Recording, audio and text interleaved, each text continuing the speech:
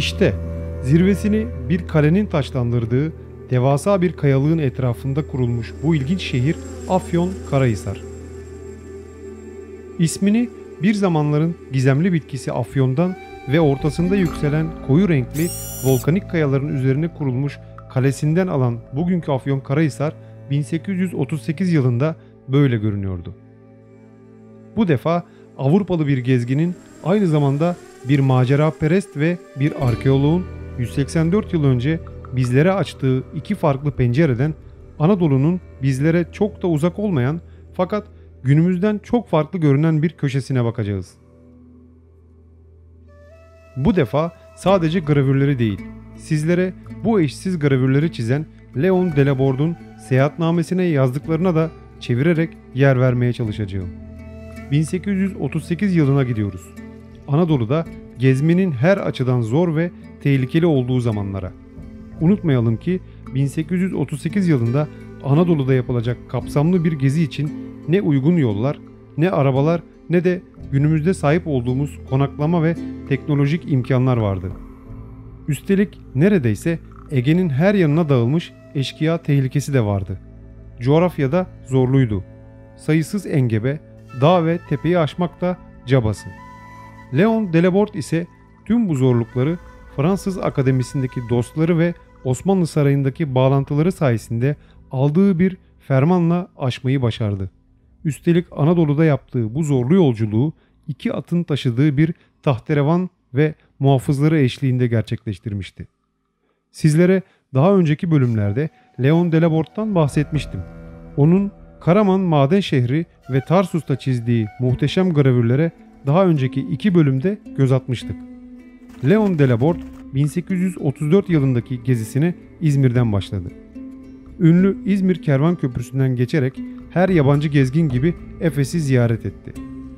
İzmir'den kuzeye doğru yönelip Manisa Kırkağaç üzerinden Bursa'ya doğru ilerledi. Bursa'dan da İstanbul'a. İlginç ama İstanbul'a çok fazla zaman ayırmadı. O kendisi için asıl önemli olan şeyi elde etmişti. Anadolu gezisi için bir serbest dolaşım fermanı.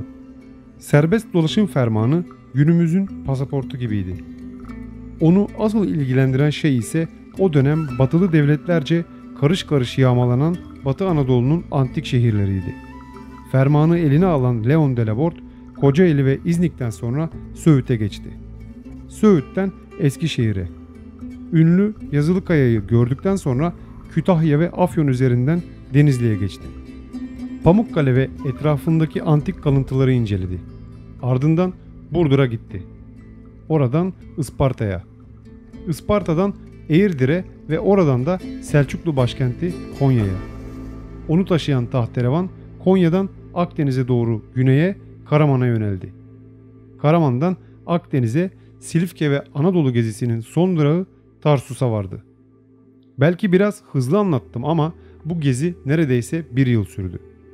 İşte şimdi bu ilginç maceraperestin o yıl Afyon Karahisar'dan geçerken çizdiği ilk gravüre bakıyoruz. Afyon Karahisar'ı ilk gördüğünde seyahatnamesine şunları yazdı. Afyon Karahisar kasabası yaklaşık 600 fit yükseklikteki bu kayalıklardan birinin yanına sığınmış ve kalesinin mazgallı duvarlarıyla taçlandırılmıştır. Minareler bu volkanik koninin eteklerine yayılmış beyaz evlerin ortasından yükseliyor. Afyon Karahisar'a doğru yaklaşırken bir yamaçtan aşağıya doğru iniyoruz. Attığımız her adımda ıssız ve ölü bir çölün ortasından yükselen bu yaşam vahası karşısında içimizde güzel duygular yeşeriyor. Ovanın hemen dibinden gerçekte bir nehir olduğunu umduğumuz küçük bir dere geçiyor. Hayal kırıklığımız üzerinden yüklerimiz ve hayvanlarımızla geçebileceğimiz bir köprüyü fark etmemizle son buluyor. Hatta köprünün korkuluğunda yazıtlı eski bir Yunan mezarının yontulmuş bir parçasını bile bulduk. Afyon Karahisar'da Hristiyan mahallesinde konaklayacağımız ve bir Ermeni'den kiraladığımız eve ulaşmak için bu muhteşem kayaların etrafından dolanıyoruz. Bu şehrin görüntüsünün insanda yarattığı ilk izlenim şaşırtıcıdır. İkincisi ise insanın böylesine bir konuma sadece önemli şehirlerin sahip olabileceğini düşünmesidir. Karşımda yükselen bu şehre bakarken işte tüm bu koşulların karşılandığını görüyorum. Kurak bir ülkenin ortasında verimli bir ova, tüm bu kuraklığın ortasından geçen bir akarsu ve her şeyin tam da ortasında kolayca savunulabilecek eşsiz bir akropol, bir kale. Ve tüm bunlar birkaç ana yolun zorunlu kavşağında bulunsun. İşte burası Afyon Karahisar. Ünlü Fransız arkeolog ve gezgin Leon Delaborde 1838 yılında Anadolu'da uzak ovanın ucundaki Afyon Karahisar'a bakarken bu satırları yazdı. Sadece yazdıklarıyla değil, bizlere iki güzel de Afyon Karahisar gravürü bıraktı. Anadolu'nun geçmişine günümüzden 1838 yılına açılan iki farklı pencere. Bunlar gerçekten de Leon Delaborde'un betimlediği gibi Afyon Karahisar'ın çöl ortasında yükselen bir vahayı anımsatan eski görüntüleri. Günümüzden çok farklı. Bir zamanlar sonsuz bir bozkırın ortasında yükselen ve zirvesine hakim bir kalenin taçlandırdığı bu ilginç yer bugün eski atmosferini büyük oranda kaybetmiş olmasına rağmen bence halen Türkiye'nin en ilginç tarihi görüntülerinden birisidir. Hititlerden bu yana Anadolu'yu gözetleyen bir kale bu. Şehre uzaktan bakan bu gravür için Leon Delaborde, Afyon Karahisar. Her ikisi de siyah lav üzerine inşa edilmiş eski Karahisar'dan ayırt edilebilmesi için bu şekilde adlandırılmıştır diyor. Bugün halen hatırı sayılır bir ticaret şehridir. Bu tarafta geniş mezarlık surların dışındaki ovaya kadar uzanır. Bu noktadan bakıldığında şehir heybetli bir görünüme sahiptir. Devlerin elleriyle yığılmış gibi yükselen heybetli kayalar cesur bir silüet oluşturuyor.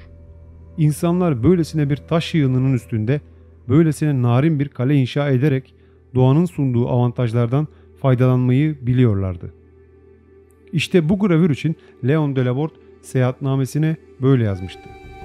Gerçekten de ön planda sayısız mezar taşlarıyla arkada yükselen kayalıklar ve yüksek duvarlarla çevrili bir şehir 1838'in Anadolu'sunda yabancı bir gezgini iki farklı gravürünü çizdirebilecek kadar etkilemiş olmalı. Sanki bir Anadolu Selçuklu kentine bakıyor gibiyiz. Zaten içerisinde günümüze kadar eksik de olsa gelmeyi başarabilmiş geç dönem Anadolu Selçuklu yapıları var. Heybetli kayalarımızın hemen yanı başındaki Yermiyanoğlu Süleyman Şah Türbesi bunlardan sadece bir tanesi. 1386 yılından beri büyük değişimlerle günümüze gelmeyi başarabilmiş bu yapı bir zamanlar böyleyken şimdi böyle görünüyor.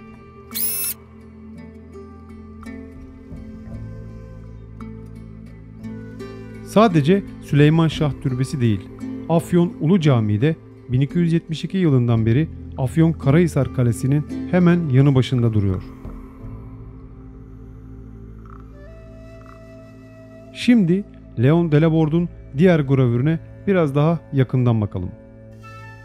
Onun yazdıklarına göre kendisi bu çizimi güneyden Ermeni mahallesinden Afyon'a doğru bakarak yapmış.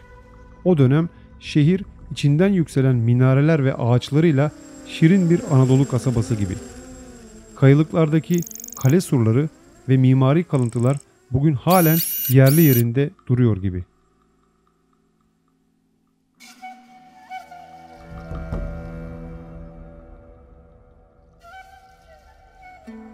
Gezginimiz seyahatnamesine şu satırları da ekliyor.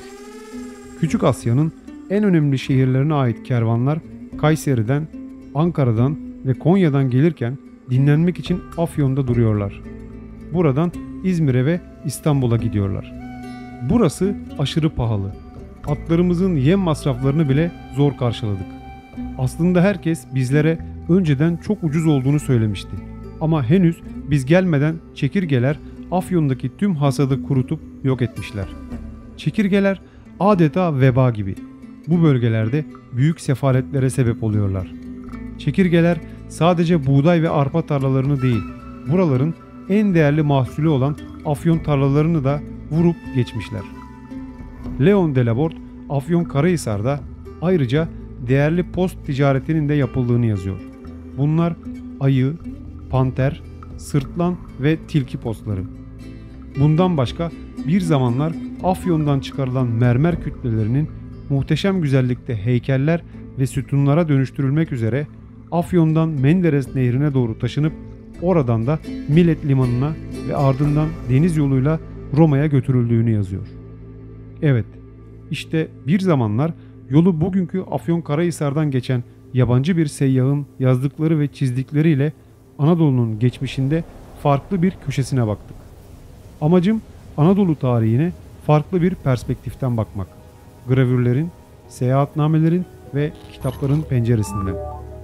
Anadolu'da uzak geçmişte yabancı seyyahlarca çizilmiş bu görsel hazineleri zamanın ruhuna uydurup dijitalleştirerek herkesin bu görsel hazinelerin farkına varmasını ve onlara kolayca ulaşmasını istiyorum. Aynı zamanda Anadolu'muzun geçmişine ait ve fotoğraf makinelerinin henüz icat edilmediği zamanlarda büyük zorluklarla yapılmış bu çizimleri günümüze ulaştırmaya çalışıyorum. Bence bunu hak ediyorlar. Bana destek olmak için Uzak Zamanlar ismini verdiğim bu kanala abone olabilir veya katıl butonunu kullanarak bana destek olabilirsiniz.